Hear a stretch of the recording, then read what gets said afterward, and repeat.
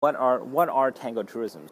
In short, they're kind of sort of like having a daily reminder of tango technique every single day for about a year and a half. Okay. Tango Truisms, the seminar. The seminars take that idea, take the ideas from um, Tango Truisms, and literally uh, take it up a, a, couple of notches. Well, it gives you uh, four areas that we focus on. One is your uh, posture, um, two is your walk, three is your embrace, and four is what to listen for in the music, interpreting the music.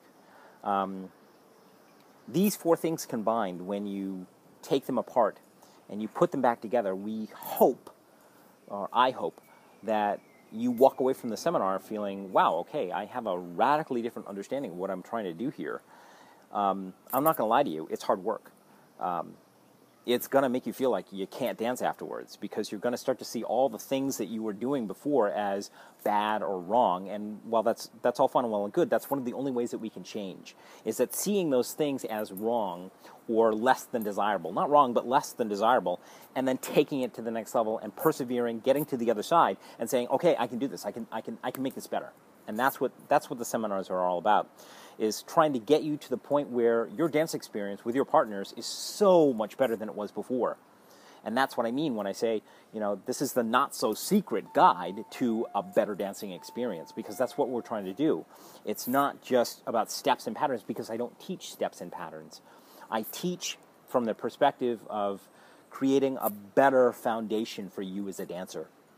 And that better foundation are those four things that I talked about better posture, or, or should, I should say, an improved posture, a much more deeper understanding what it is that you're trying to do with posture, um, your walk and how to generate that from a leading perspective as well as from a, fo- a following perspective, um, your embrace and all the things that can possibly go wrong with that. Um, and then, last but not least, you know, hearing the music uh, clearly for the first time, so that at the end of every single tanda that you dance as a lead or follower, your partner says to you, I'd like another. Can we do that again?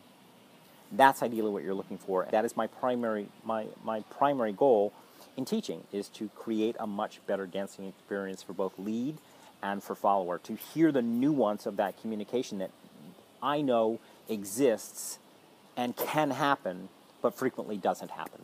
So I hope you, uh, I hope you buy the book. Uh, and I hope you join me for the seminars, and I look forward to seeing you in class.